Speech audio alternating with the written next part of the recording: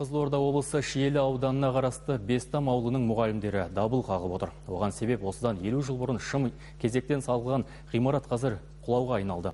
Опырылған жерлерін мұғалімдер жамап жасқа бөлек. Жаңа мектеп құрылысы биылғы бюджет жоспарына енгізілмей қалған. Тілшіміз Мөлдір Нұрман мән жайды тарқатып айтып береді.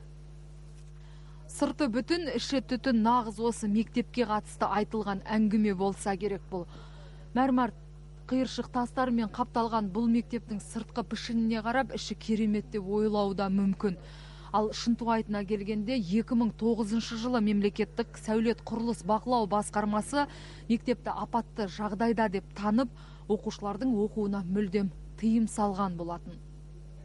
Кіреберіс бұл мұғалімдер бөлмесі. Мына отырған ұстаздардың бір парасы осы білім ұясынан түлеп ұшқан. Бір кездері өздері асыр салып жүгірген дәліз дәл қазір жұмыс бөлмесі болып отыр. Сазбалшықтан салынған ғимараттың бүгінде көбесі сөгіліп іргетасы үгітілуде. Жалпы көктем айларында біздің мектебіміздің төбесінен жауын шашынның болу салдарынан төбемізде барлық потолоктар түседі. Осы бүгінгі уақытта осы жамап өзіміздің қолдан жасап отырмыз. Ол басқа әрі қарай жөндеуге ешқандай көнбейді. Өйткені әбден тозығы жеткен мектеп.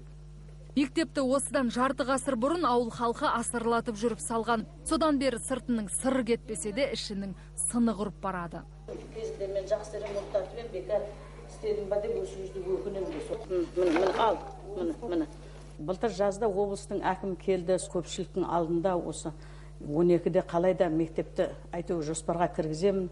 Құдай қаласа деп сөйтіп бізге уәде берді. Бірақ енді анау күні ауданның әкімі есеп бергенде біздің мектеп 2012-ге кірмей қалыпты. Әу баста 280 оқушыға арналған білім ошағында қазір 400-дей оқушы бар. Даярлық тобының өзінде 40 бүлдіршін дайын тұр. Оларға сынып жетіспей шеберханада дәріс тыңдауға мәжбүр. Осы мектепті менің атам да бітіріп шыққан осы кезінде. Білім жақсы бастысы білім. Бұл мектепте апатты жағдай болса да біз оқып жатырмыз. Бұйыртса он бірінші сынып болып бітіргелі жатырмыз. Бірақ та артымыздан ерген іні сіңілдеріміз жаңа мектепте оқыса деп армандаймыз. Шатырының сау жері жоқ қырық құрау алпыс құрсау бұл мектеп жарамсыз деп табылған шақта білім және ғылым министрлігінен хат келген жаңасын салып береміз деген. Одан берде екі жылдан асты облыс әкімінің уәдесінен де қайран болмай тұр. Қирап тұрған мектептің құрылысы биыл тағы жоспарға енбей кейінге қалған.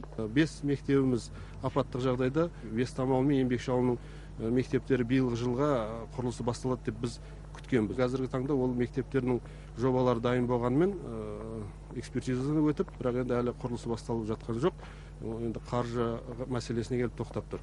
Биыл бестамдық оқушылардың қатары көбейіп жаңа оқу жылынан бастап сабақ үш ауысымда өткізілуі бек мүмкін.